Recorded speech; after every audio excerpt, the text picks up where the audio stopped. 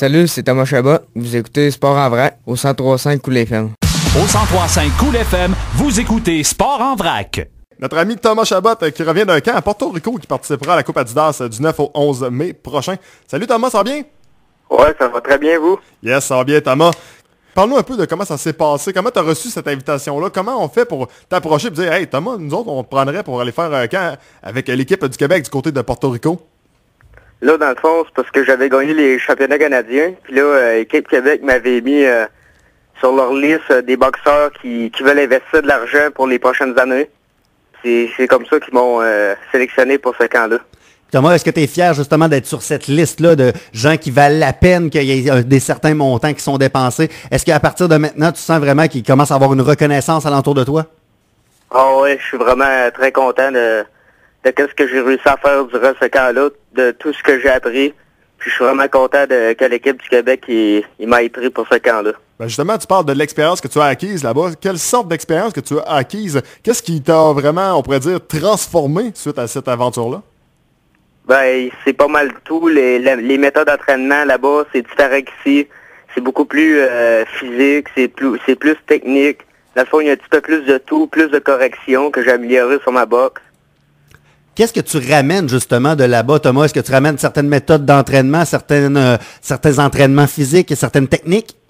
Ouais, surtout des, les techniques de jeu de pied. euh, c'est vraiment ça que j'ai euh, j'ai beaucoup appris euh, durant ce camp-là. Est-ce que tu as eu l'impression que là-bas, les, les portoricains, habituellement, c'est un peu des, des cracks d'entraînement. C'est du monde qui vont se lever très très, très, très tôt, qui vont se coucher de bonne heure, mais lorsqu'ils sont euh, euh, levés, ils sont tout le temps à l'entraînement. C'est un peu des malades mentales, en parenthèse, d'entraînement. Est-ce que c'est quelque chose que tu as observé? Ah ouais, ils sont vraiment très en forme. Ils ont un cardio infini. C'est vraiment des gens qui, qui se lèvent à, qui, sont, sont, à 6 heures le matin au gym, puis ils sont là jusqu'à... Ils retournent là, ils retournent là le soir, ils partent à 8 heures. C'est vraiment des, des gens très en forme. Est-ce qu'il y avait justement des petits portoricains qui s'entraînaient à côté de vous? Est-ce que tu as pu te comparer un peu pour voir justement à quel niveau tu étais comparativement à eux? Ouais, je me suis entraîné avec eux autres. On a fait euh, des rounds de sparring. C'est... Ils ont une petite avance sur le cardio à cause, de la, à cause euh, du, du pays là-bas. C'est beaucoup plus dur de s'entraîner là-bas qu'ici. Il fait beaucoup plus chaud. et On a moins d'air. Puis sur le cardio, euh, selon moi, il est un petit peu meilleur que nous autres. Malgré tout, tu as eu la chance de disputer ton premier combat international contre euh, c'est un portoricain. Comment ça s'est passé, Ouais. ce combat-là? Je me trompe pas, c'est une victoire pour toi. Ouais, ouais, j'ai gagné euh, la décision, on ne sait pas, parce que c'est c'était pas la même langue, puis je co- on comprenait pas trop. mais, je, mais je sais que j'ai très très très bien fait. J'ai le, le premier round il était plus serré, mais au deuxième round je me suis dit faut que je me, faut que je montre de quoi je suis capable. C'est vraiment le deuxième round que j'ai vraiment fait une domination, puis c'est ça qui a marqué les jeux. Je veux qu'on parle un peu de la Coupe Adidas qui arrive bientôt.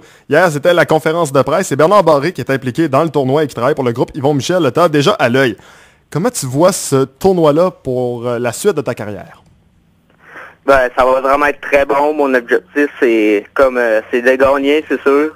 Je vais, je vais là pour gagner, puis, puis c'est, ça. C'est vraiment genre, euh, c'est vraiment juste pour gagner que je vais là, puis apprendre surtout. Thomas, de savoir justement que Bernard Barré, qu'un Yvon Michel ont déjà entendu ton nom, peut-être t'ont déjà vu à quelque part, qui commencent à penser à toi, pas tout de suite, mais les autres ils disent dans 4 ans, dans 5 ans. Pour toi, est-ce que c'est une motivation justement de te dire, hey, tous les efforts que j'ai faits à date, là, ça paye. Sauf qu'il n'y a rien de fait encore. Mon nom commence à circuler dans le domaine. Maintenant, il faut que dans 4 ans, je sois au rendez-vous.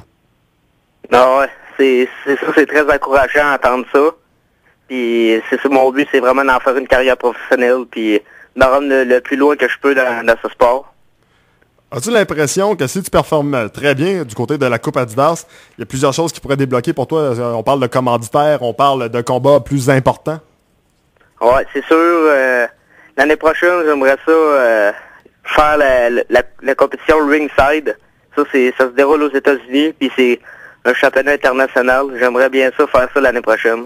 Est-ce qu'il y a des la prérequis? coupe, Oui, la coupe Adidas, ça serait une, une bonne préparation pour ça. Est-ce qu'il y a des prérequis pour aller faire justement la compétition ringside? Comment tu fais pour t'inscrire? Est-ce que tu dois avoir une invitation? Est-ce que c'est toi qui donnes ton nom? Euh, je sais pas encore euh, spécifiquement. là. Mais je pense que je pense qu'il faut que tu donnes ton nom, selon moi. mais chose certaine, avec une victoire ou une excellente performance à la Coupe Adidas, ça donnerait une belle carte de visite. Sur ça, Thomas, on va te souhaiter la meilleure des chances pour la Coupe Adidas, mais on n'est pas trop trop nerveux. Je pense que le potentiel est là et le vouloir est là, donc ça devrait très bien aller dans- ton cas. Ouais, merci. Continue de bien performer, Thomas. Merci beaucoup, là. Salut, Bye bye. Thomas. Donc voilà, c'était Thomas Chabot, boxeur originaire de Thetford Mines.